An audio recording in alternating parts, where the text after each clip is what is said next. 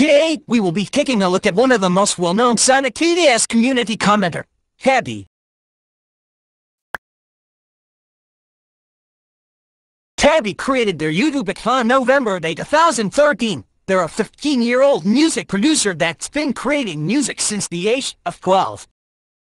Tabby is an alternative account with the same name. There isn't much information here. Tabby is well known for their comments. He's basically the Justin Y of the Sonic text-to-speech community. Once Tabby took over Super Sonic Gamer 03's comments section, they tried claiming more land. I've seen Tabby in multiple places. Take this one for example.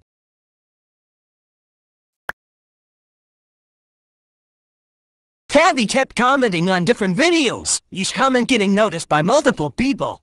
This was a smart move because of how small the Sonic text-to-speech community was at the time.